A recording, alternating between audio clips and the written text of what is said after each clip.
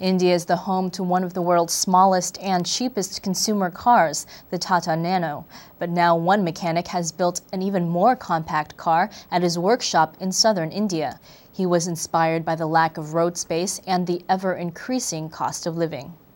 The owner of this Bangalore mechanical workshop has built an affordable compact car. The lack of parking space and the increased cost of living were the main inspiration for Narsimha Raju, who built the two seater car for those on a low budget. As you know, in our society, even we don't get uh, proper uh, space to park our car, even moving on road, there is no space because of this congested uh, life every day. I thought, why should I not do a compact car? Which is suitable to everybody cost wise and space wise. That was the inspiration. Raju's affordable car is on the same budget as a two wheeler but with added protection. The car is mainly suitable to an ordinary person who can afford a two wheeler.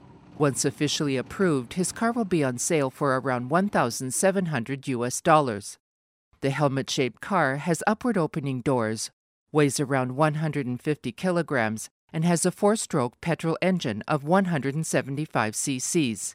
It can cover 35 kilometers per liter with the highest speed of 80 kilometers.